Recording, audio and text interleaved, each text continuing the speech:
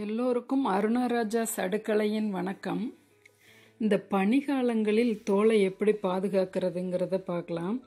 இந்த பனி பருவத்தில் தோல் மிகவும் வறட்சியடைந்து விடுகிறது.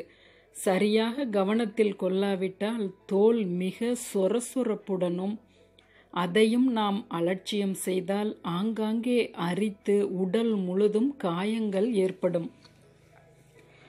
இந்த பருவங்களில் குளிப்பது மிதமான வெந்நீரில் குளிக்கணும் குளித்தவுடன் டவல் கொண்டு உடலை துடைக்காமல் உடம்பில் உள்ள நீர் திவளைகளுடனேயே தேங்காய் எண்ணெயை பத்து பத்து சொட்டுகளாக இரு கைகளிலும் தேய்த்து உடல் முழுக்க தேய்த்து விடணும்.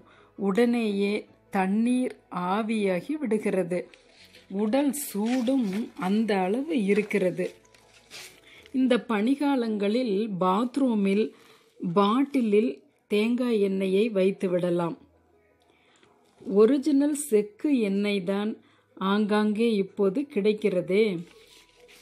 சோப்பு பயன்படுத்தும் போது இந்த பனி பருவ காலங்களில் வறட்சி ஏற்படுத்தாத மாதிரியான சோப்புகளை பயன்படுத்தணும். இப்போ இன்ன சோப்புன்னு நம்ம கலந்துர முடியாது இல்லையா? கலந்துரையாட முடியாது.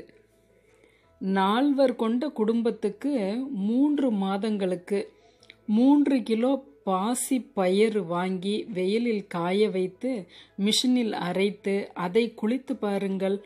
மற்ற பருவங்களிலும் பின்பற்றுவோம் நாம். அத்தனை வலுவழுப்பு அந்த பாசி பயிருக்கு. மீண்டும் ஞாபகப்படுத்துகிறேன். குளித்தவுடன் துவட்டாமல் தேங்காய் எண்ணெயை பூச அன்றைய நாள் முழுவதும் தோல் வரவரப்புக்கு உள்ளாகாது.